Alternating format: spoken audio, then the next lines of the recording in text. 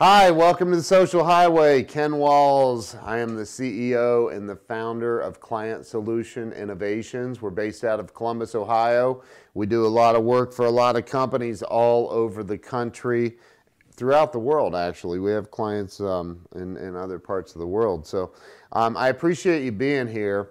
Uh, today, today, and it, has been it's been a little bit, been a couple of weeks or so since we've we've uh, done an episode been been a lot of crazy beginning of the year stuff going on. Just have not been able to cut out the time but we're here now. And and you know i really put a lot of a lot of thought into um, you know what we were going to talk about today.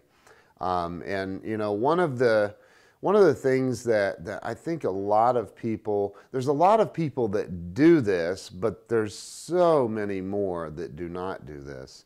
And, you know, one of the things is um, when it comes to building your presence online, whether you're a business or a, you're a trucker or you're a, a tow truck company, or it doesn't really matter what, what kind of business you have. Something that is absolutely huge today is YouTube. And whenever I talk to you know anybody, and we, we talk about search engine optimization because we're we're really really good at doing SEO, search engine optimization for companies, and that's just a thing that we do to a bunch of things we do to get a website to the top of Google. But you know, I always say, okay, what's the number one search engine in the world? And then eh, everybody's always like, well, it's got to be Google, right? And yeah, absolutely. By far, they're the largest search engine in the world. And I always say, what's the second largest search engine in the world? And everybody says I, Yahoo or Bing. I, am not sure.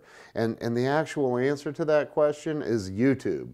YouTube is the second largest search engine in the world, and they're owned by the largest search engine in the world, Google.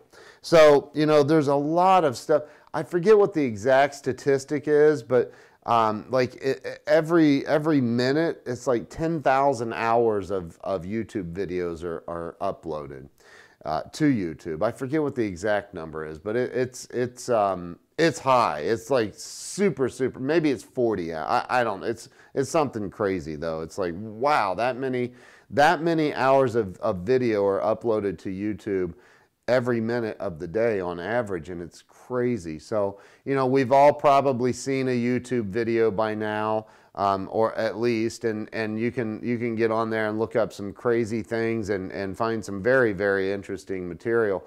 One of the things that I looked up prior to shooting this episode was I looked up truckers. And there are some there there's a lot of um, there's a lot of truckers out there that are doing doing their own video blogs on on YouTube. And, and so I started really, you know, talking with my team and, and thinking through this. There are some really cool things out there. There are some huge, huge benefits. You know, there's, there's um, in our research, we found this, um, this, this one trucker that, that, that uh, does video blogs of everything he's doing and he he uh, he laid on the horn at a a uh, a highway patrol officer for the guy was talking on his cell phone and speeding. The the the cop was. And this trucker didn't appreciate it. It was, you know, raining out or wet roads and the cop was on his cell phone and the cop was, you know, speeding super fast and he's like, this guy's you know, not above the law and laid on his horn at this cop. Well, the cop ends up pulling him over and the guy videos the entire thing. I'm sure many of you have seen have seen this. The cop actually, you know, at first says that he's not, you know, that he's um, uh, he's he's not held to the same standard that he does he doesn't have to, you know, he can use electronic devices and all of that. So you honked at me because you, you, believe I was speeding? Because you were driving recklessly. It's speeding now. It's got wet roads, and you were on your cell phone. So if I'm going 70 miles per hour, you weren't going 70. You were going you, well above 70. You, you were going well above 70. Okay, you don't know. Do you have a, do you have a radar right here? Do you always have to have your radar? I can. I've been driving for quite a while. Medical card. You know what? What um, you know? What happens in that that instance right there is you know, the guy realizes he's being videotaped. He realizes that, that he said some things he probably shouldn't have said and, and, and talking about like, you know, being above the law basically. When he comes back to, um, he was going to write the guy for illegal use of his horn or something. And, um, and he comes back and he's, he's totally singing a different tune by the end of it. You're just trying to, you know, help me out, you know, help me drive safely. I understand that. So you know, one of the things that that that we can all do, you know, the you know my my buddy Grant Cardone is a, a, a very well known sales trainer and and and and motivator, and he talks about making noise, about you know getting get, getting your voice heard. And you know, we can be there's so many different things out there in social media now. There's Snapchat. There's uh, there's a new one called Beam Beam Be Me B E M E. It's an app that records four seconds of your of your day at a time, and and and it you know it's it's insane how how it works. And it literally all I do is hold it up here, and it records four four seconds at a time. So it's adding it to my timeline right now as I'm sitting here recording this. And now I'm, I'm done and it's, it's posting onto my timeline the four seconds and anybody that follows me can, can see can see that, that, that this, this thing, and then they can see the other, other clips I've added in there from the past, and they can only see it one time. But so you've got Be Me, you've got the, the um, you've got Snapchat, you've got all of these, these services out there. What's the, uh, the other video one that's six seconds at a time? Vine, yeah, you can do vines, you can do all these things where you're recording clips of your life. One of the really cool things I think about being a trucker is you're seeing parts of the country, parts of the road, things that nobody in the world, 99% of the people out there in the world are never going to get to experience on the level that you get to experience. I think that's cool. And I think that a, a, a, video blog, if you're out there, you're doing a video blog, or if you're, you're the trucking company owner, gosh, the, the benefits of encouraging your drivers to, hey, you know, why don't you, why don't you do some video blogging? And I'm not talking about operating a phone or a camera or being unsafe in any way. I'm talking about just having something mounted and set up so you can blog where you're going, what's going on, show the open road, show the highway to people that are never going to get to see that. Let people see what's going on out there. And, you know, just, just, you know, so listen, we're going to take a quick break. And when we come back, we're going to talk a little bit more about this. We'll be right back with you. Thanks.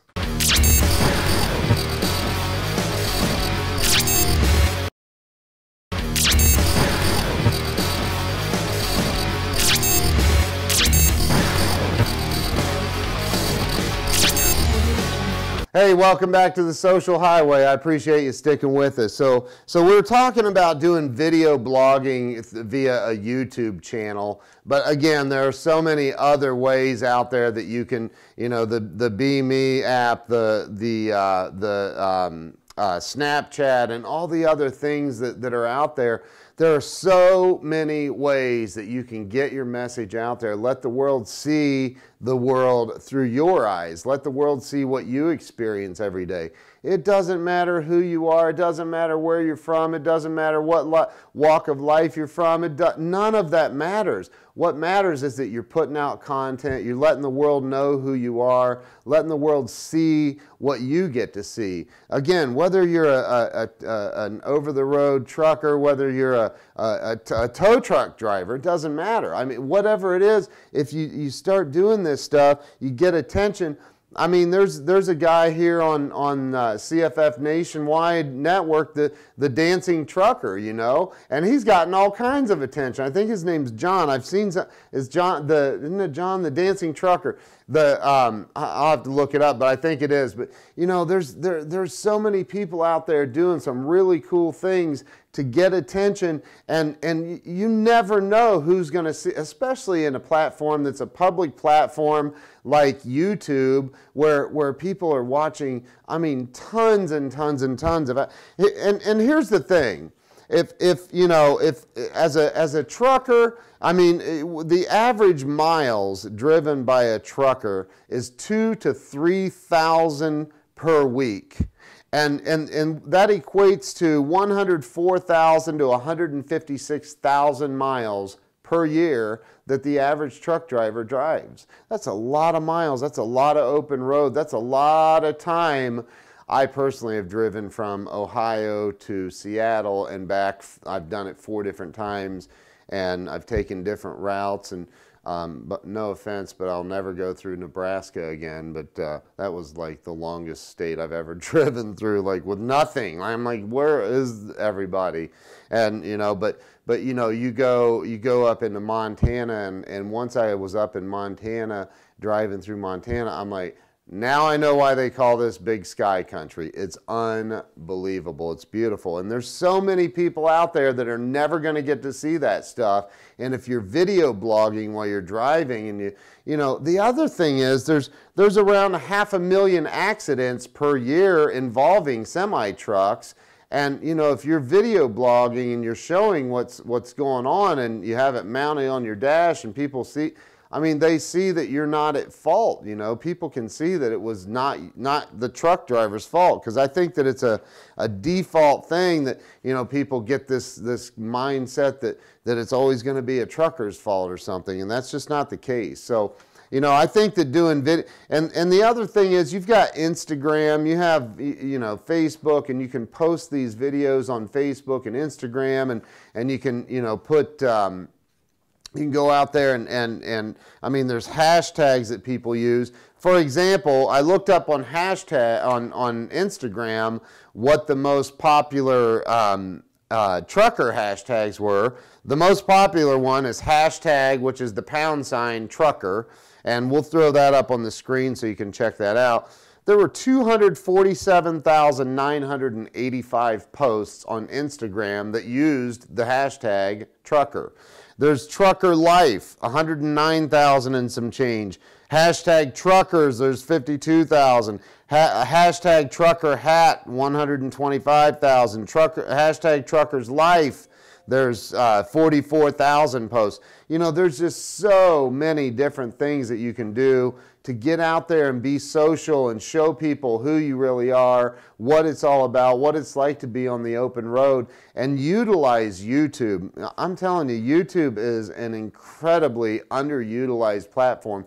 Although there's a lot of people out there using YouTube, there's not a whole lot of people out there that are structuring a channel very simple to go in with a Gmail account and set up your own YouTube channel. Make it really interesting, posting videos up to it all the time, just showing what it's like to be out there doing what you do.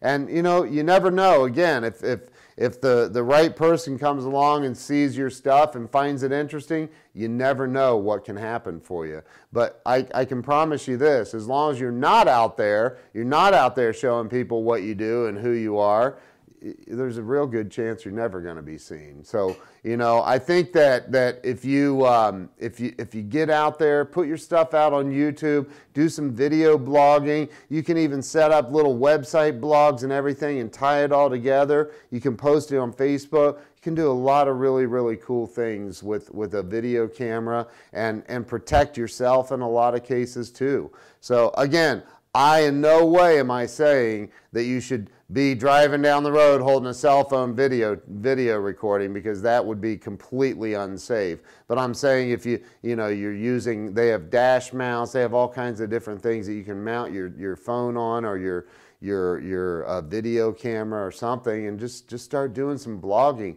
when you're driving through an interesting part of the US or or somewhere turn that thing on man and post it up to YouTube may not be interesting to you but it may, it may be interesting to a million other people that even you didn't even think it was interesting, right? So that's how things go viral. That's how things get exciting. Listen, thank you for stopping by the Social Highway. I'm Ken Wall, CEO and founder of Client Solution Innovations.